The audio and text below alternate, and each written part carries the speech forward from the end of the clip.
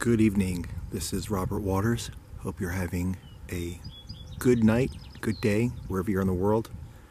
If you look at the sun here, it's going down and the far left hand corner of the frame, a little bit you could see there is a wind turbine in the distance. Um, we're going to sit here and follow the sun down for a little bit just love these moments where I can share this with you guys, but I'm just going to show you the the power of this camera once the sun goes down. It's absolutely amazing. All right, I'm going to just show you. See, there is the sun going down. You can start seeing the windmills more in the distance. Just around a little bit there. Now you can really see if you watch as the sun is going down, you can start seeing the windmill blades, the turbine blades.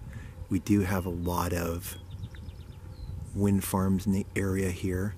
So as you can see, the sun going down, I will show you the power of this camera. Gonna let the sun go down a little bit more. Gotta change the angle on here. One thing with these wide angle cameras is that if you make the slightest touch, you're gonna lose your your focus in your picture. So now you can really see as the sun is going down, you could see those wind turbines. You can also see McDonald's on the bottom right. I don't know what city that is, but what I'm going to do is I'm going to come back in.